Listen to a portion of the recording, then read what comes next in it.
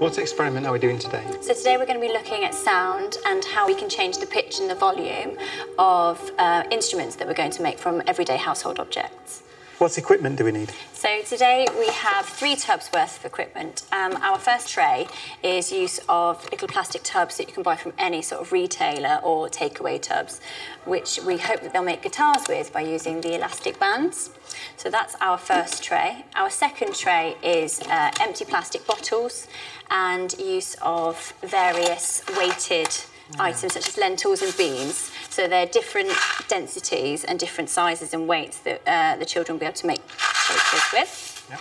And our third tray is the use of tuning forks. When the children bang it, they can experiment with how it sounds and the difference in pitch and volume. Right, and where do you get these from?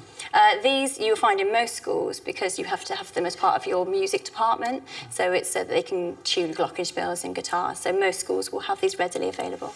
What are the health and safety issues that you need to consider?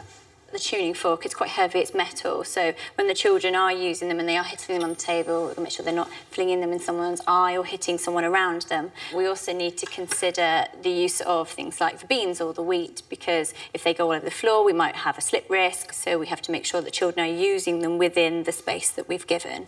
Uh, we also need to consider autistic children because actually a lot of them have tendencies to be really wary of sound, especially loud sounds. So in that case, we identify an area where they might struggle and we might take them out and support them in a way in a smaller group, so, but they are still able to access the lesson. And the way that we do science here is we use lab coats and goggles as well to bring up the profile of science, make it really special. So that's what we would do, but it's not needed in terms of a health and safety aspect. So what are the important teaching points that come out of these experiments?